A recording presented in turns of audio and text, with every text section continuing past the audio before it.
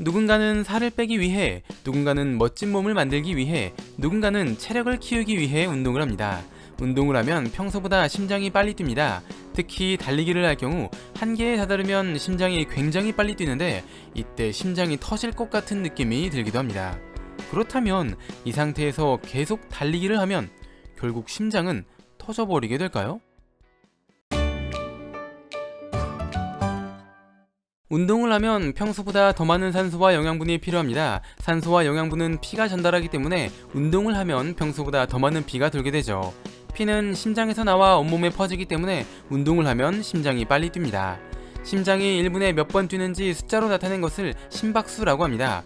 평소 아무것도 하지 않을 때는 심박수가 60에서 100 정도, 가벼운 운동을 할 때는 심박수가 130 정도, 고강도 운동을 할 때는 심박수가 180 정도 된다고 합니다. 때로는 심박수가 200까지 올라가는 경우도 있는데 사람이 낼 수 있는 최대 심박수는 200 전후기 때문에 200 이상이 되면 위험해질 수 있습니다. 그렇다면 이때 계속 달리기를 하면 어떨까요? 심장이 더 이상 버티지 못하고 터져버릴 것 같지만 사실 계속 운동을 한다고 해서 심장이 터지는 것은 아닙니다. 의학적으로 봤을 때 외부의 자극이 없는 이상 자연적으로 심장이 터지는 일은 일어나지 않는다고 합니다. 우리 몸 안에 있는 DNA, RNA, 단백질 같은 것들을 분석해 변화를 알아낼 수 있는 지표를 바이오마커라고 합니다. 한 연구 결과에 따르면 마라톤을 끝낸 선수의 피를 분석해 본 결과 심장에 변화를 줄 수 있는 바이오마커가 발견되었다고 합니다. 이것은 휴식할 경우 자연스럽게 사라지지만 심장이 계속 한계치에 머무를 경우 심장에 영향을 줘 심장마비가 발생할 수 있습니다. 심장이 터질 것 같을 때 달리는 것을 멈추지 않고 계속 뛰다 보면 심장이 터지는 것이 아니라 오히려 멈춰버리는 것이죠.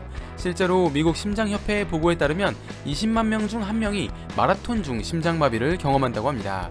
그렇기 때문에 운동을 열심히 해 심장이 터질 것 같을 때 이상하게 호흡이 힘들고 심장이 불규칙적으로 뛴다면 운동을 멈추고 휴식을 하는 것이 좋습니다. 이렇게 심장에 무리가 가는 운동을 계속할 경우 심장에 상처가 생기거나 심장벽이 두꺼워질 수 있습니다. 심장벽이 두꺼워진다는 것은 심장의 근육이 커진다는 뜻으로 근육이 커지면 좋은 거 아닌가? 하는 생각이 들 수 있지만 심장 근육이 너무 커지면 근육 때문에 피가 나가는 통로가 좁아져 혈액순환이 원활하게 이루어지지 못합니다. 그럼 심장은 더 강하게 뛰려고 하고 이것 때문에 근육이 더 커져 피가 제대로 돌지 않아 돌연사하는 경우도 있습니다. 이것은 운동선수들이 가끔 경험하는 현상이라고 합니다. 우리는 건강을 위해 운동을 하지만 너무 심한 운동은 오히려 우리의 건강을 해칠 수 있다는 것을 명심하고 있어야 합니다. 뇌를 채워줄 은덩어리 지식들 오늘의 은잡지 영상은 여기까지입니다. 시청해주셔서 감사합니다.